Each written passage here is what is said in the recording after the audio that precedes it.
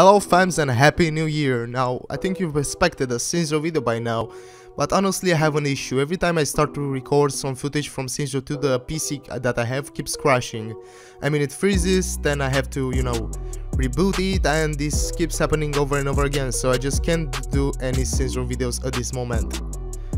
But anyway, what I want to talk about today is Beyond Good and Evil 2, which is a great title that many people are waiting for. So basically, I found this article that pretty much confirms everything we need to know about what happened to it and what is going to happen and why it didn't appear in, at the E3 in 2019. And maybe, just a little maybe, we might see Beyond Good and Evil 2 by the end of 2020 playable on the PS4, Xbox One and PC. Now, uh, I've been I've been waiting a long time for the sequel to Beyond Good and Evil, the action-adventure classic that originally released in 2003. But after many delays, Ubisoft finally announced at E3 2017 that a prequel was in the works, Beyond Good and Evil 2.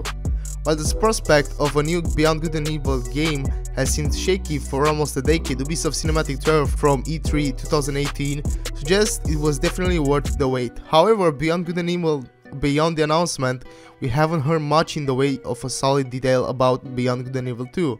How will it differ from the original? What will be the same? How will the online multiplayer work? And what has Joseph Gordon-Levitt got to do with it? Now, I've gathered up all the news, rumors, and confirmed it is running Beyond Good and Evil 2 below for your perusal.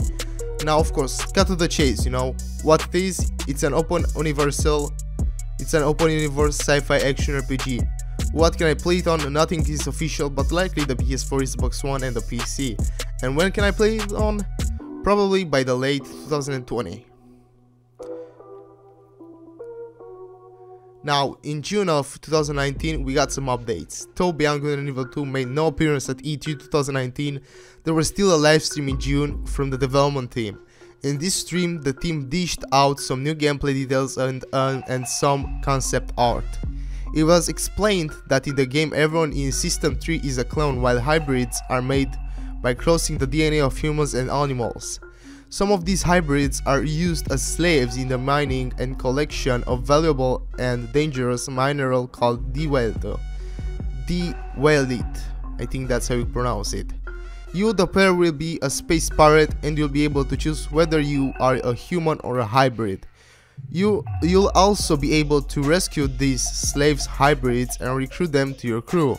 Overall though, the game will give you plenty of freedom to craft your own story. Overall though, the game will give you plenty of freedom to craft your own story.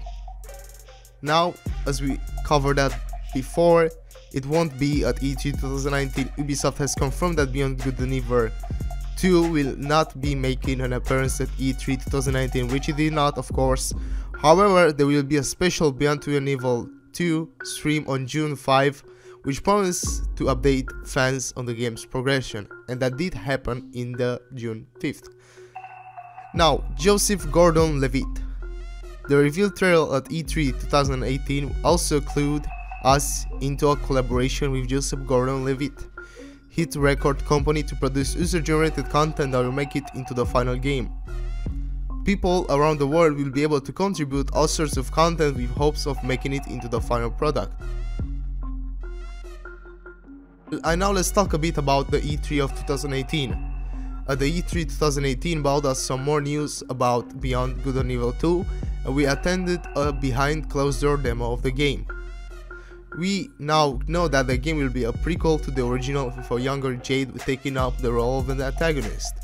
Players will be able to play cooperatively in the open world and they won't even have to remain near each other at all.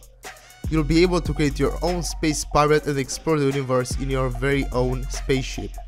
From what we've seen of the game so far, the game world is astonishingly large and utterly seamless and you can move from city streets to sky to space to outer space without any loading screens at all.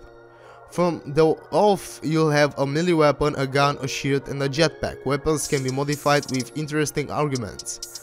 A key item in the game will be a cool spyglass which players can use to assess situations before going into them. Hovering over an enemy will tell you more about them, what augments they're using and their abilities. It certainly makes planning an attack a lot more smooth. You can also use it You can also use it to scan buildings and assets, what they will do and whether they might be able to there might be any use in setting your eyes on them for robbery. The development livestream.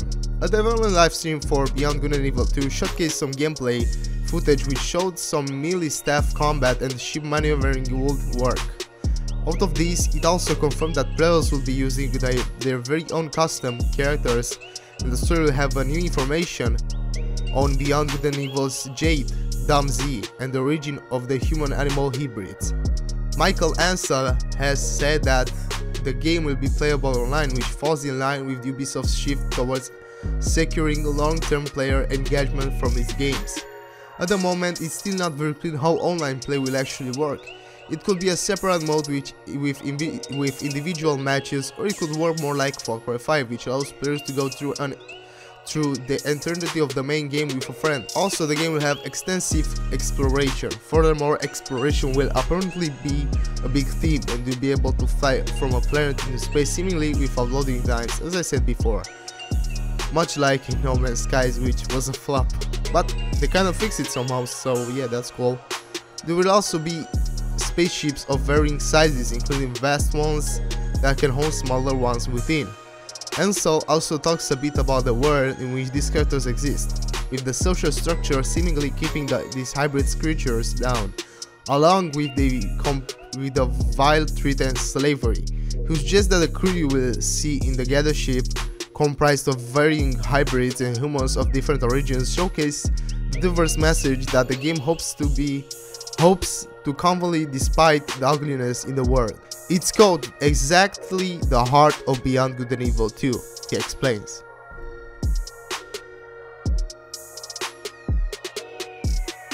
And people ask that, will there be a beta? Now, they kind of told us that there will. Ubisoft confirmed this during the E3 in 2018 that Beyond Good and Evil, that Beyond Good and Evil 2 will have a beta and it's possible to sign up for it now. However, don't be aware that it's not expected that the beta will be live and playable until the end of the next year. It's likely that more will be revealed at the E3 of maybe 2020.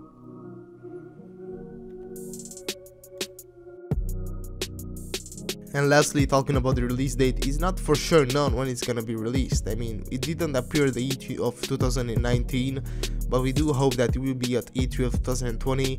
But this is just pure speculation right now about the release date because nothing is known for sure from the developers. It's still indeed in the works and it's gonna be very well polished and very well developed, but the release date is not yet known. With the PlayStation 5 and Xbox Series X coming the holiday of 2020, I think that the game maybe will be pushed to the end of 2020 for release or maybe uh, to early 2021 and I do hope that it will be for the PlayStation 4 and Xbox One first then on the PC on the PlayStation 5 and the uh, you know Xbox Series X. But of course this is just pure speculation so I think I don't think it's very worthy to say that it will be released in 2020 because we don't have solid information regarding that get my idea. So yeah basically we don't know yet when it's gonna be released but it's gonna be released for sure because it's been in development for a very long time and it's just about you know getting things polished and finished to be released and to be playable you know without any bugs or crashes or fatal errors. So yes this is everything i have to say regarding the release date. And this is some of the informations that i could gather for you guys I do not want to make this video too long and talk about every bit of this article and give my own twist on it, but I do hope that it's been an enjoyable video for you guys. Happy New Year again. And what I want you to tell me is how can I fix my PC freezing. If you can, please leave a comment. I've tried a lot of YouTube videos and it doesn't work out. It will be very helpful from you to tell me how can I fix this and uh, yeah I would I would love to make another Saints Row video and I have a lot of projects regarding Saints Row for this year but I just can't record any Saints Row 2 gameplay. It just keeps crashing and freezing. So what I want to say is please help me out and if you enjoyed this video make sure to leave a like. If you're new to the channel subscribe and keep the notifications on so you're officially subscribed because why would you be subscribed if you didn't turn on the notification? That's just uh, not being a subscriber or part of the fam so make sure to, you know, leave the notifications on and I'll see you at my other videos. And as always, have a good one fans.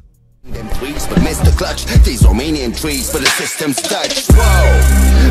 Finest, your highness, German your highness. Wait, I'm here to slay the demons that haunt us. Join us, the time is upon us. The game, just hold my I do it for my soul, so what the BS? Me and. The whole game is off, use me as on.